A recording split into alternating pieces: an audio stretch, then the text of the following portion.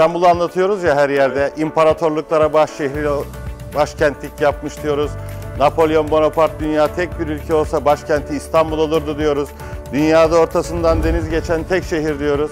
Hatta Peygamber Efendimizin metiyesine mazhar olmuş bir şehir diyoruz. 8500 yıllık tarihi diyoruz. Yunan mitolojisine göre aşıklar şehri diyoruz. İşte İstanbul burası.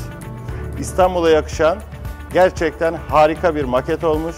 İnanıyorum ki fuara damgasını vuracak bir maket. Ben The Partners'ın tüm çalışanlarına çok çok teşekkür ediyorum. Ellerinize sağlık diyorum.